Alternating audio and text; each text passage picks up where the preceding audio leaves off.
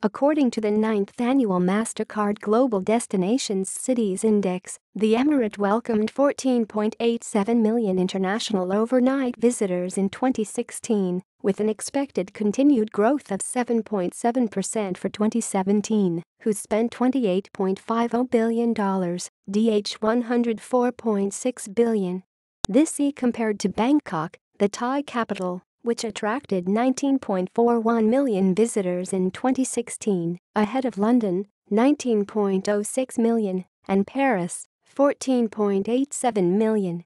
Dubai continues to be a must-visit and must-return destination for both business and leisure travelers, and the opening of world-class attractions and venues such as IMG Worlds of Adventure, Dubai Parks and Resorts and Dubai Opera in 2016 enhanced the offering for all visitors, including families, said Issam Kazim, CEO, Dubai Corporation for Tourism and Commerce Marketing, DCTCM.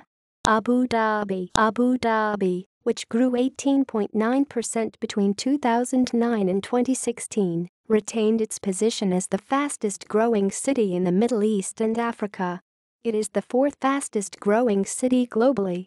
Tourists get at the top of the world to get a bird's eye view of the city from top of the Burj Khalifa or let their minds dance with the world's largest musical fountain below. The largest natural flower garden, Miracle Garden, now a Guinness Book of World Records highlighter, is a draw for tourists, as well as the desert safaris. Many tourists also appreciate the special care accorded to senior citizens at the immigration services and its record of safety. The remarkably respectful behavior of citizens to women is appreciated by most as well as the polite responses of the Roads and Transport Authority bus drivers to queries of first-time visitors. Another draw for Dubai is the easy way to move around the city on high-quality, wide roads and driverless metro rides.